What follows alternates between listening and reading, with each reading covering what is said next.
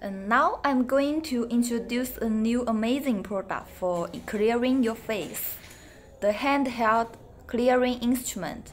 It consists of three parts. The massage brush head, the power button, the DC charging interface, and it has five different gear to adjustment.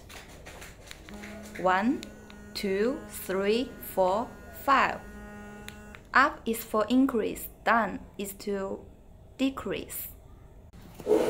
And after clean your face with the water, we put the facial cleanser on your face.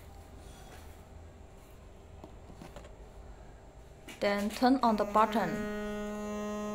Adjust to the appropriate gear